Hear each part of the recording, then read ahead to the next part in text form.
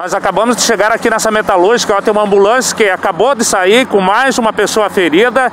E segundo as informações, foram oito pessoas que se feriram após esse vendaval, o telhado caiu, uma pessoa levou uma pancada fortíssima no rosto de objetos que foram lançados com a força do vento e pessoas foram atingidas.